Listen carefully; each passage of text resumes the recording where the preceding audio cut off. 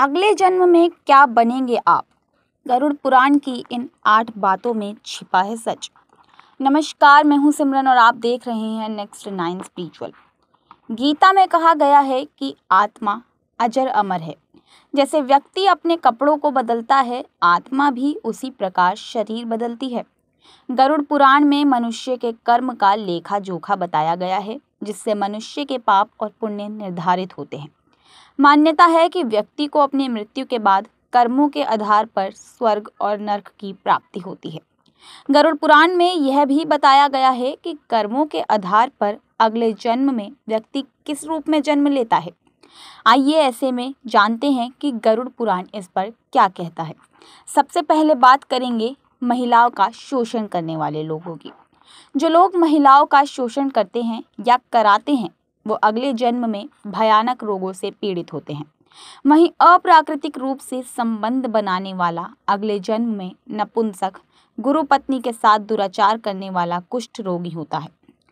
बात करते हैं धोखा देने वालों की। जी हाँ गरुड़ पुराण में बताया गया है कि जो मनुष्य छल कपट और धोखा देते हैं, वो लोग अगले जीवन में उल्लू बनते हैं। वहीं झूठ गवाही देने वाला भी दूसरे जन्म में अंधा होकर पैदा होता है। इसी के साथ गरुड़ पुराण के अनुसार जो व्यक्ति हिंसा करके परिवार का पालन पोषण करते हैं, जैसे लूटपाट, जानवरों को सताना या शिकार खेलने वाले अगले जन्म में किसी कसाई हत्ते चढ़ने वाले बकरा बनते हैं।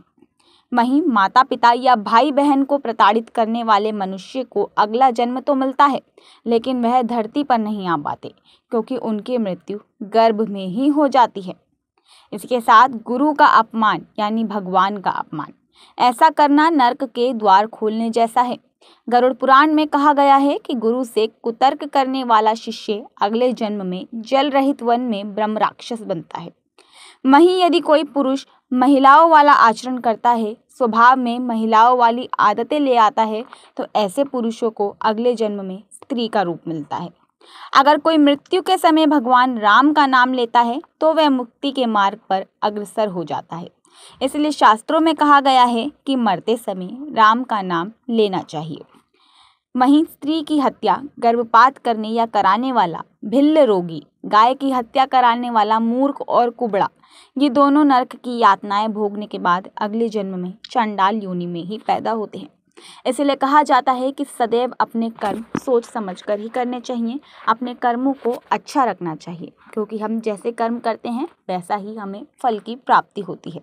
फ़िलहाल के लिए इतना ही, ऐसी ही और जानकारियों के लिए आप देखते रहिए नेक्स्ट नाइन स्पिरिचुअल। तब तक के लिए धन्यवाद।